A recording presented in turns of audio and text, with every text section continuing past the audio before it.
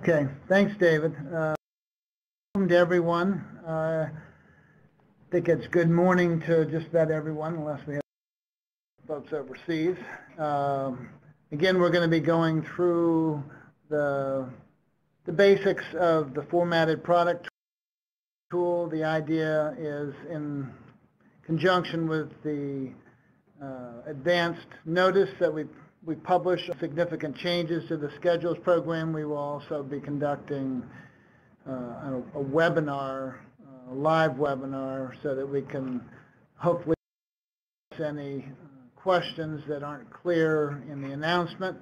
Uh, one of the things I want to point out, though, is that uh, we, we are communicating uh, in a large part these days through our Interact site www.gsa.interact, and uh, that's the website.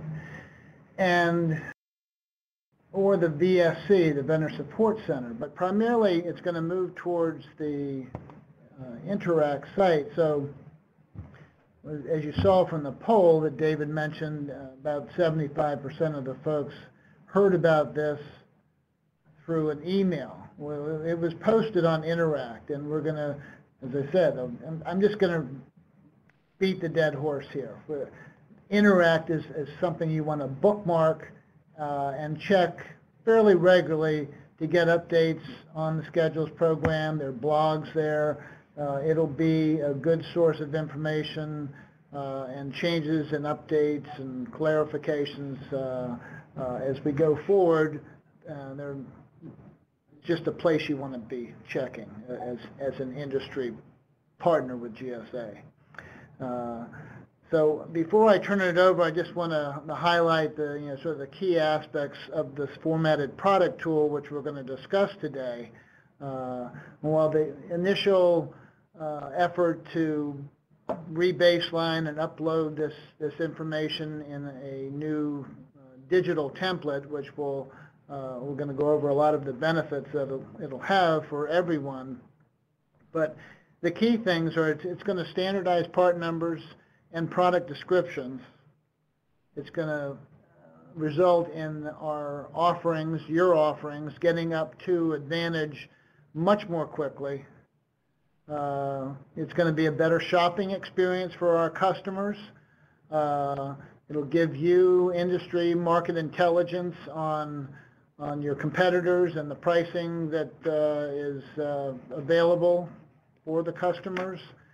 And we hope that through all of this, it will uh, provide a uh, greater level of confidence across the government in the schedules program and its pricing and its offerings being current and, uh, and, and, well positioned.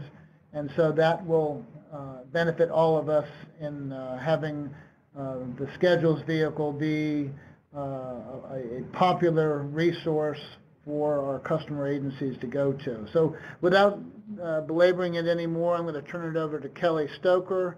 Uh, and then we've got two or two other participants that are going to be delivering information to you, and then there'll be uh, plenty of time for questions and answers at the end of the presentation.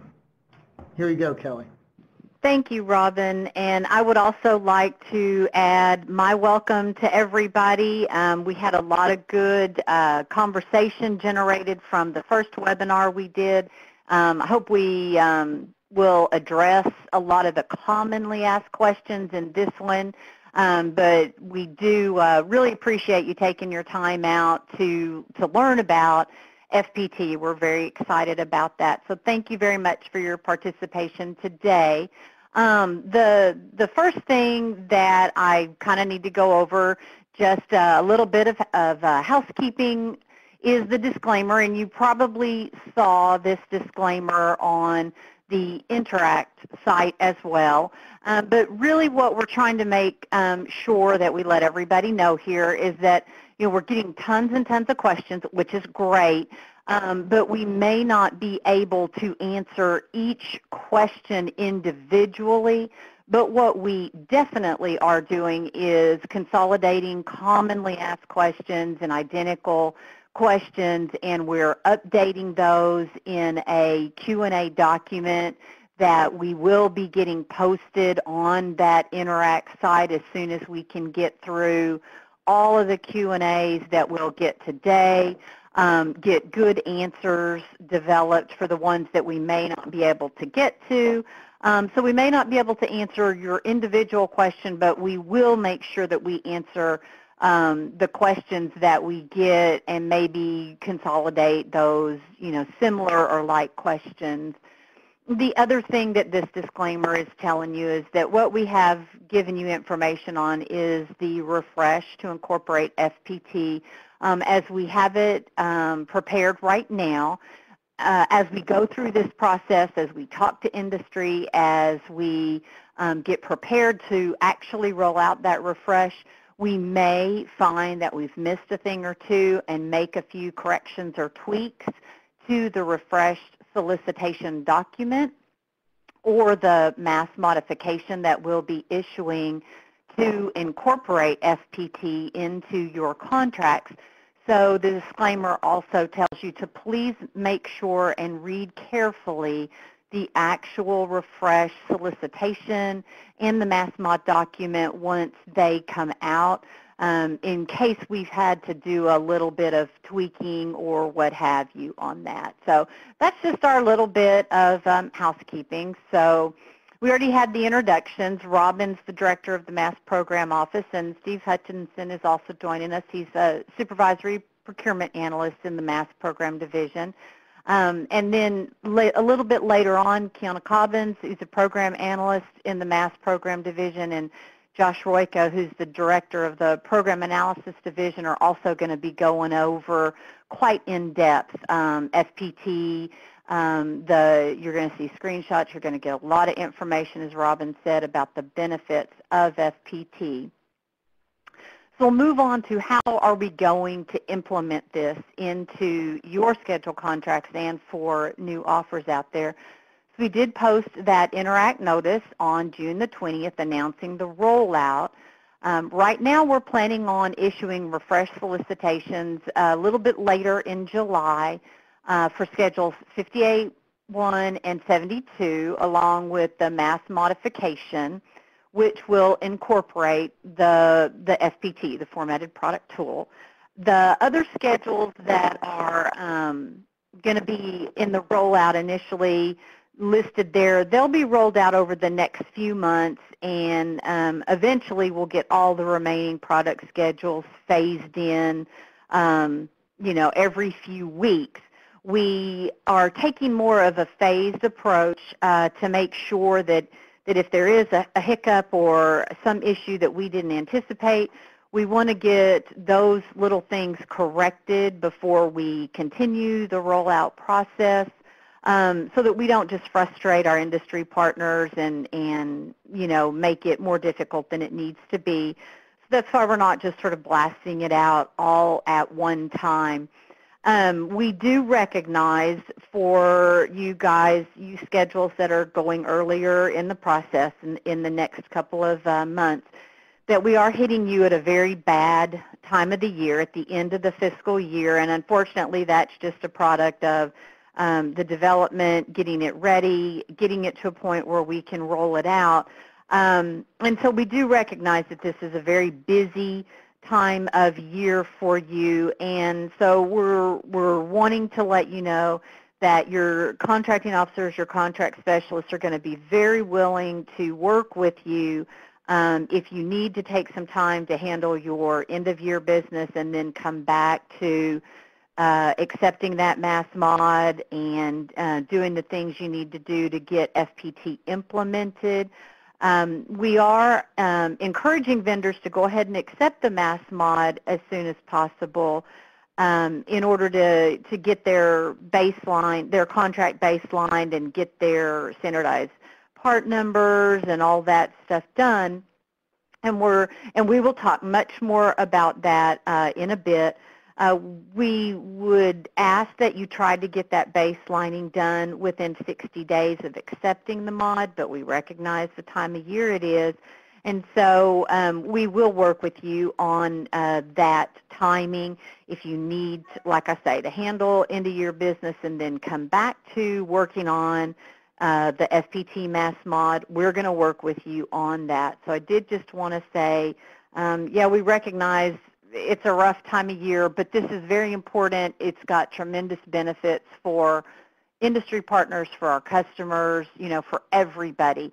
So we really wanted to get it out um, and get moving on it. So I just did want to mention that. Um, with the mod itself, we are going to be making quite a few uh, clause changes in order to accommodate the FPT upgrade um, and the upfront electronic submission of your data now as opposed to some of the more manual ways that your data was updated before, you know, through uploaded spreadsheets or things like that. So to that end, we have made some changes to um, quite a few clauses. All the clauses are listed here. The full text proposed versions of the changes are um, posted on the Interact notice. So um, if you do have questions about those, feel free to include those um, in your um, chat, your chat questions at the end when we get to the Q&A, and we'll do our best to address questions about the specific clauses. But the majority of these clause changes are really only to accommodate that transition from uh, more of a manual paper submission process to an electronic transmission process. So there aren't significant changes to the clauses themselves. It's really more in how we're going to be getting that information from you. Um, and you'll also note here that there are a couple of clauses that are applicable only to Schedule 70. So if you do happen to be a Schedule 70 vendor and Schedule 70 vendor and you're on with us today, those two do apply to you. For everybody else, you don't need to, to worry about those.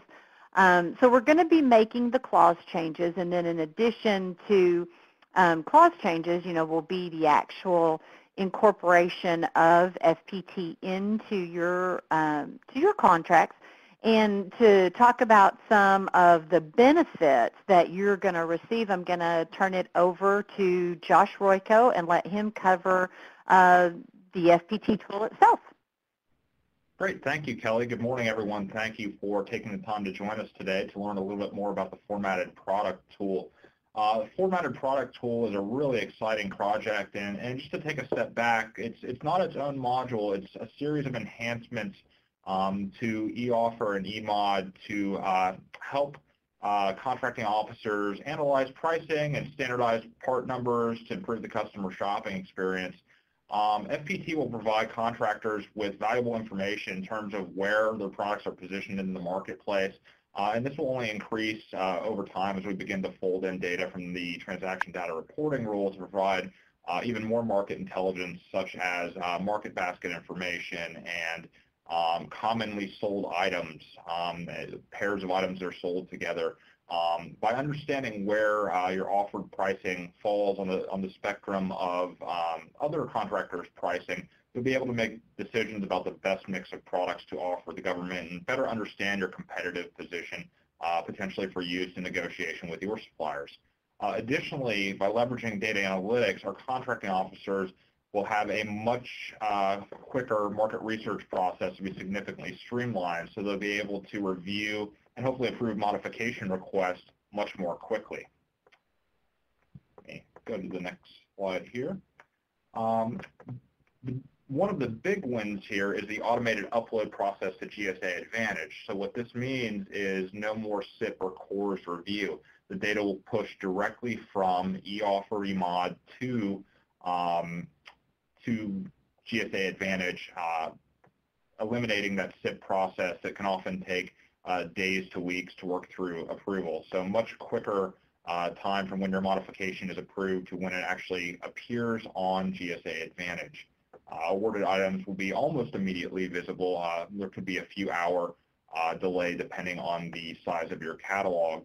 And it will really enhance the customer shopping experience. What this means for our contractors is your items will receive consideration based off the contract terms and conditions and factors such as warranty, delivery time, and price, as opposed to uh, your knack for search engine optimization. By grouping all like items on the same master product page, customers will easily find uh, all sources of supply to give them consideration.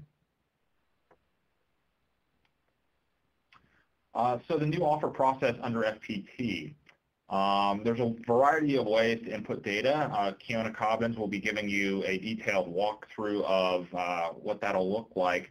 Um, the data for new offers will be processed to standardize manufacturer part numbers. Um, so what we're doing is taking data from uh, trusted content providers such as manufacturers and major wholesalers um, where it's available and matching uh, submitted product data to that standard content. Um, and in the office supply area, we've started a working group that uh, has, has, focused on gathering that content.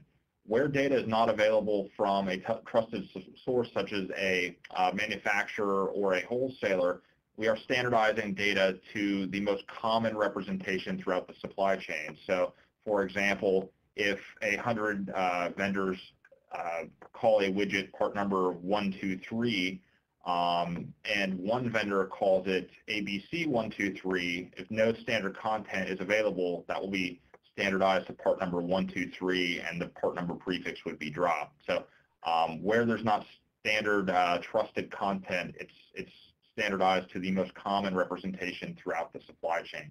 And it's important to note that vendors can review the standardization work and make comments should you feel it's not being uh, standardized appropriately we are making every effort to ensure that we have a high level of confidence in the standardization. Um, so you shouldn't see, uh, we expect it to be very rare that there would be a standardization done that is not in fact accurate. Um, but we do want to have the opportunity for you to review that and provide comments for additional analysis and evaluation. So in addition to the uh, manufacturer part number standardization, offered pricing will also be evaluated against uh, other items uh, in the government marketplace. And the vendors, when they upload their pricing through the FPT, a report will be generated that flags any prices that are outside of the, the target price range for the contracting officer to review. Um, the same evaluation methodology will be used that we used last year during the competitive pricing initiative, uh, we have made some enhancements to account for uh, much of the feedback we received in regards to low price outliers and suspected loss leaders. So we're using um, statistical clustering analysis to uh, remove extreme low outliers. Um, there will obviously be cases where a contracting officer uh, will need to review and award prices outside of the target range. So this in no way limits the contracting officer's authority. What it does is help them organize their work and conduct market research instead of manually searching for items on sites such as GSA Advantage. Um, the items outside the range, the vendors will receive uh, the target price range upon submission. Um, so you'll, you'll know how far outside the range you might be uh, and have the opportunity to revise your pricing should you wish to do so. Um, or otherwise, you'll need to provide a comment to the contracting officer to indicate if there's any additional factors you'd like considered, such as um, extended warranty that's included or um, you know, fast shipping times, such as next day shipping included, uh, no additional charge. So any additional rationale that you'd like to provide to the contracting officer for consideration, you'll have the opportunity to do so there. Um, much like a new offer process, the baseline mod process uh, will be what we'll use for uh, existing contractors to load into the tool. Uh, upon accepting the FPT mass modification, contractors will need to go into eOffer and submit the baseline mod um, within 60 days um, is the target to uh, complete that. Baseline mod works almost identical to the new offer process. Uh, part numbers will be evaluated to uh, be standardized um, to help improve that customer shopping experience and group all like items on GSA Advantage. And the vendor will provide the opportunity to review and hopefully uh, uh, we, we believe our standardization process to be uh, very high accuracy, so accept the uh, proposed standardized part number or provide an explanation of any concerns that they may have as to the item not being matched. Um, Contract pricing will also be evaluated for variability against the established ranges, and the vendor will be provided with this information. The initial focus um, is that the, uh, the baselining process does not in and of itself constitute uh, or trigger the need for price negotiations, but the contracting officers will be reviewing the data, and should they find items that appear to be uh, significantly outside of the range or, or raising questions as to their price reasonableness, they may approach you about that and choose to uh, enter negotiations. That's a decision left to the contracting officer and not automatically triggered through this process. Okay, let me go to the next slide here.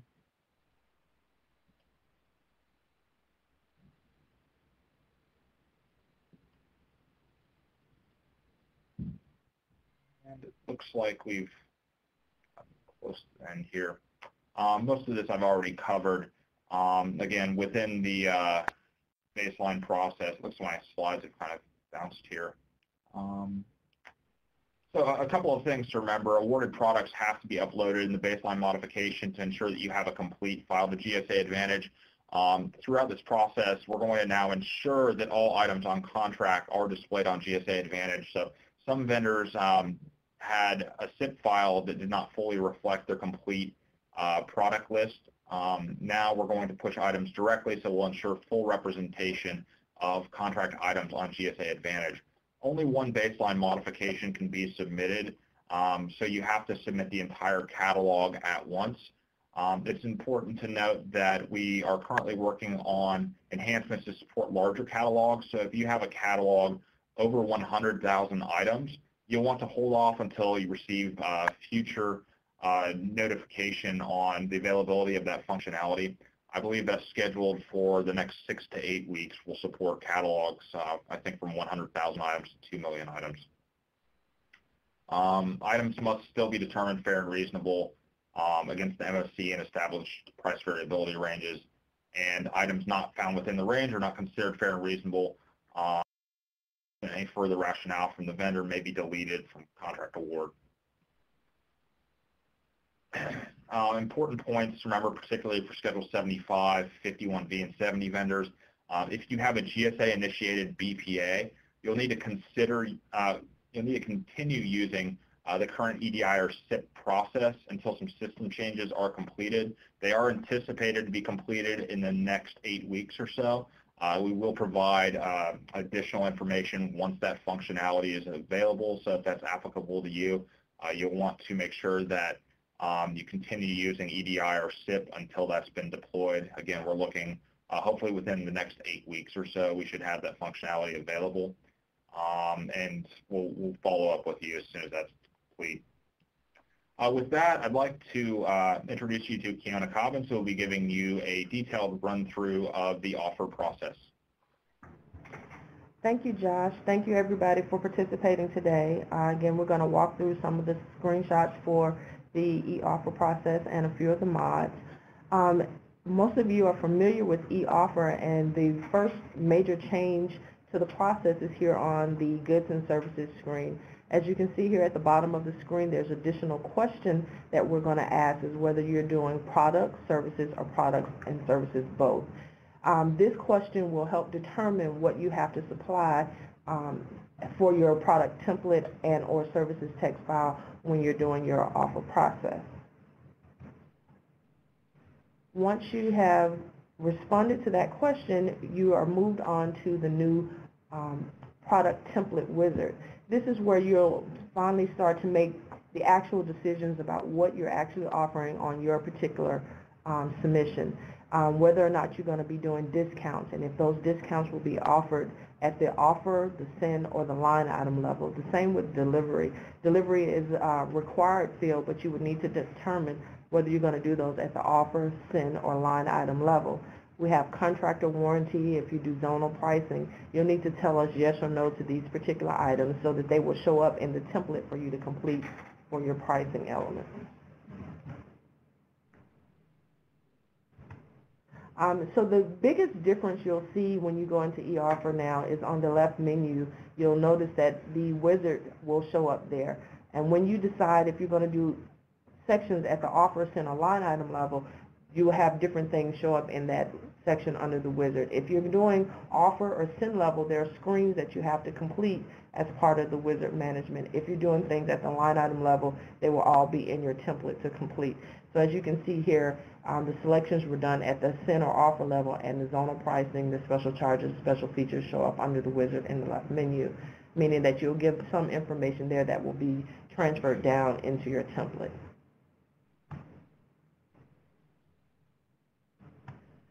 Um, once you've selected that you're going to offer special charges, special features, um, other things that are in the wizard, those tabs become available to select.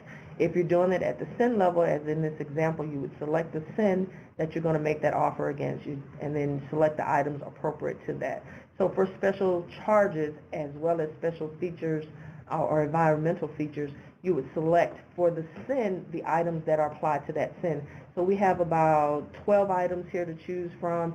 Um, if you're only going to do one day service or next day service or Saturday delivery, that would only apply to that specific SIN. You would not have to respond to that in your template for everything in the um, list here. Like you do with SIP, now you have to say that something is not applicable or or um, that is not available for that particular SIN. But here we're limiting the number of records you have to respond to by responding to them uh, by selecting them and limiting your choices.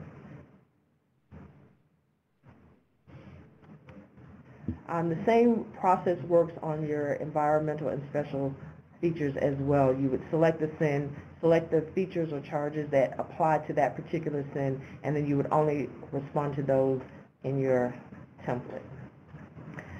Um, discounts at the SIN or offer level, you would have to complete the discount screen. You select the SIN that, that that discount applies to and put the start and end ranges and discount amount. As you can see at the bottom of the page here, those discounts then show up uh, at, for that particular SIN. If you're offering more than one SIN for any of the pages that we just discussed, you put in the items for each SIN to move forward. Um, so delivery at the offer or SIN level would then um, transfer down to your line items in your template, um, but you must decide which um, delivery methods you're going to choose for each SIN. So if you do it at the SIN or the offer level, um, that information would then flow down. If you do it at the line item level, you have to enter it just like any other thing. Um, so let's, let's jump back and talk about what SIN or offer level and line level means. If you select any of these items at the offer level, it applies to everything in that offer. If you select them at the SIN level, it could be different per SIN. If you do it at the line item level, you can choose whatever information per line item. So just when you're going through those sections, just remember that when you do it at the SIN or offer, it kind of applies to the whole of those items. Now that you have given us the basic information for your template, it's now start to cap, time to capture the pricing information. So we have three methods where you can do this. You can do this by either downloading the template, which will give you a downloadable Excel that you can save to your desktop and work on offline by supplying all the information. You can do this on screen by supplying it the uh, information on screen in an Excel format, um, you, which would allow you to copy and paste and um, maneuver the information on screen. There are a few more edits on screen where we transfer the data around for you so that you don't have to do as much work as um, with the downloadable version, but you're still doing the same process. Um, if you are a vendor who uses EDI, you can still do your EDI process. Um, you just have to generate a additional key under the EDI section to add with your EDI upload, which will transfer the information, your line item information into your offer request.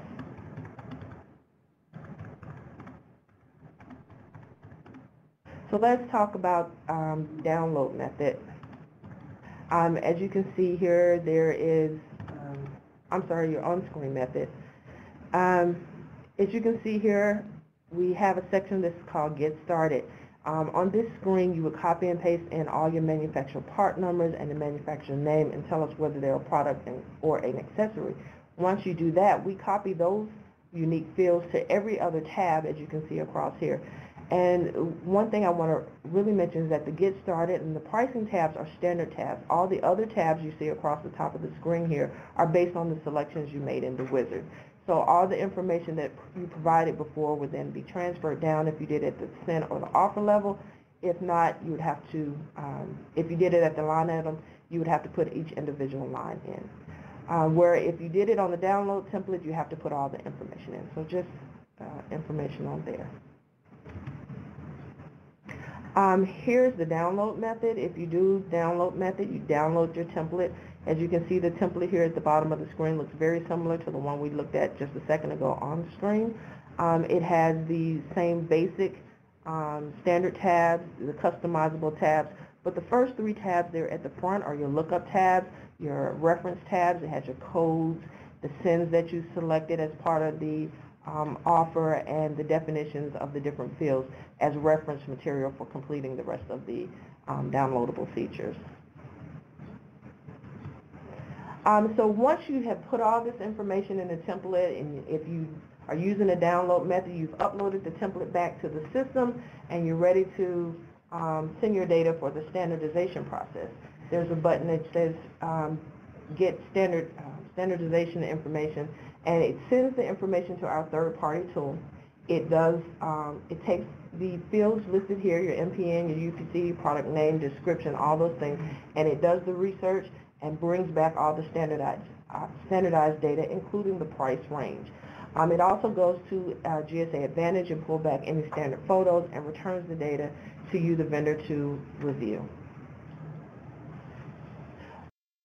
If that data is pulled back, you'll see um, a new tab that says um, Offer Analysis Report. And this is the data that you've just gotten back from the standardization process where you can review all the data that came back. Um, there are two tabs on this in this section. One that says action required. That means something fell outside of the price range, either too high or too low. Um, and other fields may have also been standardized, but basically the items in that tab are outside of the price range in some way, shape, form, or fashion. Um, the other tab is no action required. That means that the price fell within the range, but some other data element may have been standardized. For example, the part number may have been changed, or the description may have been changed, or information in this tab um, was not found for the items that you provided, and the um, onus would be on the CO to review those items to determine if they're um, reasonable for being awarded. So the process for evaluation, um, once you have completed the rest of the eOffer items after uh, providing your data, giving comments and feedback about whether the information in the standardized data is correct, changing those items to make them within the range or not, um, giving comments about why you don't want to change the, the price, uh, which could be valid, could be a reason why you may have um, better warranty and that causes your price to go up a little bit. Um, but once you've done all that and completed the rest of the offer and submitted to your CO, it will go through this normal evaluation process. The CO will review it. You will work on, um, on they would work from the Excel to do the negotiation. You would do your feedback back and forth, and then the COs would send their recommendations back for changes to your pricing. You make those changes, send it back for another review until that negotiation is complete, and then you would send, um, be ready to make the award of the offer. COs would review that in ORS. Um, the second item here shows the um, file that they would receive to do that initial review and make comments uh, regarding uh, whether something was awarded, rejected, or needed to be negotiated. Um, so this is the sheet that um, the COs will see. It looks just like the sheet that the vendors looked at. It has all the same tabs, whether something was in the range, if it was out of the range, if something was standardized, they see exactly what the uh, vendor saw before submission. Um, so that is pretty much the offer process. Again, as Josh stated earlier, the baseline mod process is basically the same as the offer process.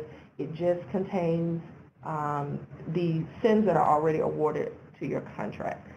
So you will go through all the same steps otherwise.